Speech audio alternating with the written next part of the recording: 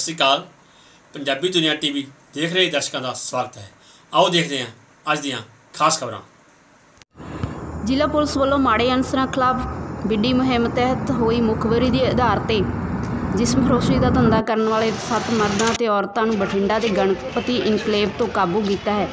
ਇਸ ਮਾਮਲੇ ਸੰਬੰਧੀ ਜਾਣਕਾਰੀ ਦਿੰਦਿਆਂ ਵਰਧਮਾਨ ਚੌਂਕੀ ਇੰਚਾਰਜ ਗਣੇਸ਼ਵਰ ਨੇ ਦੱਸਿਆ ਕਿ ਡੀਐਸਪੀ ਹਿਨਾ ਗੁਪਤਾ ਨੂੰ ਮੁਖਬਰੀ ਹੋਈ ਸੀ ਕਿ ਗਣਪਤੀ ਇਨਕਲੇਵ 'ਚ ਸਤਨਾਮ ਸਿੰਘ।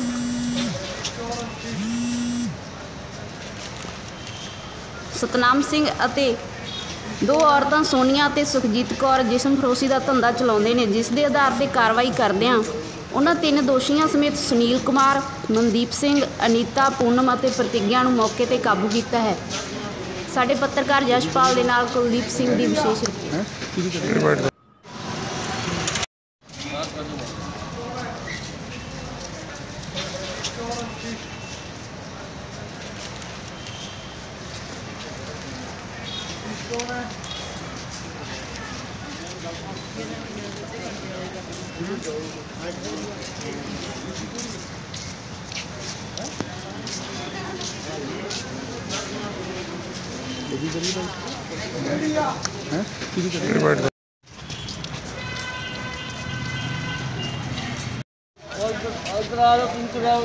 ਅੱਗੇ ਲਿਓ ਜਲਦੀ ਚਲੋ ਜਲਦੀ ਚਲੋ ਕੋਈ ਗੱਲ ਨਹੀਂ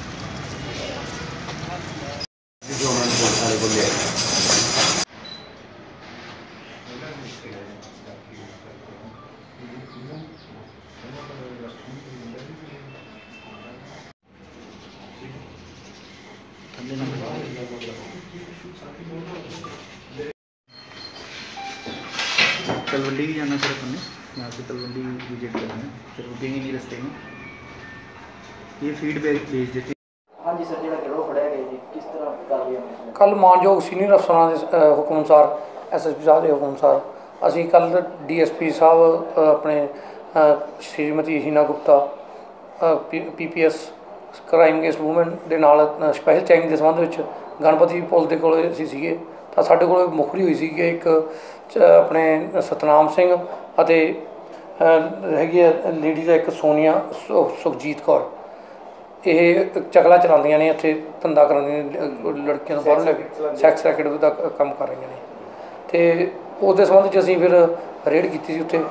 ਉੱਥੇ ਜਾ ਕੇ ਸਾਨੂੰ ਚਾਰ ਲੇਡੀਜ਼ ਅਤੇ ਤਿੰਨ ਜੈਂਟਸ ਮਿਲੇ ਆ। ਕੀ ਕੀ ਨਾਮ ਹੈ ਸਰ ਇਹਨਾਂ ਦੇ? ਉੱਥੇ ਜੀ ਇੱਕ ਤਾਂ ਸੁਖਜੀਤ ਕੌਰ ਤੇ ਸਤਨਾਮ ਸਿੰਘ ਜਿਹੜੇ ਉੱਥੇ ਮੇਨ ਸਰਪ੍ਰਸਤ ਸੀ ਉਹਦੇ ਘਰ ਉੱਥੇ ਰਹਿੰਦੇ ਸੀ ਘਰ ਤੇ ਕੰਮ ਚਲਾਉਂਦੇ ਸੀਗੇ।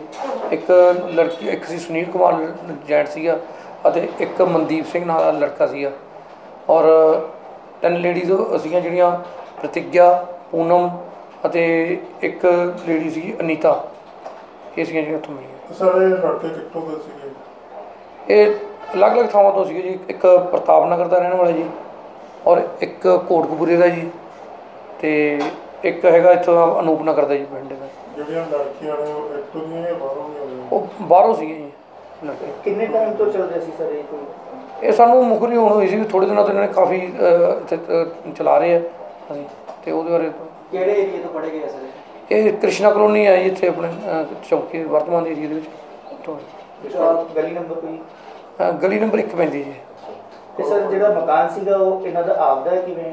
ਇਹ ਕਿਰਾਏ ਦਾ ਮਕਾਨ ਲੈ ਕੇ ਰਹਿ ਰਹੇ ਸੀ। ਮਕਾਨ ਮਾਲਕ ਨਾਲ ਵੀ ਕੋਈ ਗੱਲਬਾਤ ਨਹੀਂ ਨਹੀਂ ਮਕਾਨ ਮਾਲਕ ਦਾ ਇਹਦੇ ਬਾਰੇ ਨਾਲ ਕੋਈ ਗੱਲ ਨਹੀਂ ਹੋਈ। ਇਹਦੇ ਬਾਰੇ ਅਜੇ ਤਫਤੀਸ਼ ਚੱਲ ਰਹੀ ਹੈ ਜੋ ਅਗਲੀ ਤਫਤੀਸ਼ ਦੇ ਵਿੱਚ ਕਿਹੜੀ ਕਿਹੜੀ ਕੀ ਕਿਹੜਾ? ਇਹਨਾਂ ਦੇ ਖਿਲਾਫ ਐਫ ਆਈ ਆਰ ਨੰਬਰ 219 ਕੱਲ date 14 10 2020 under section 345 model traffic act ਦੇ ਤਹਿਤ ਡੀਐਸਪੀ ਸਾਹਿਬ ਨੂੰ ਮੁਕੱਦਮਾ ਦਰਜ ਕੀਤਾ ਜਾ ਚੁੱਕਾ ਹੈ। ਔਰ ਇਹਨਾਂ ਨੂੰ ਗ੍ਰਿਫਤਾਰ ਕਰ ਲਿਆ ਤੇ ਅਗਲੀ ਤਫਤੀਸ਼ ਜਾਰੀ ਹੈ ਜੀ।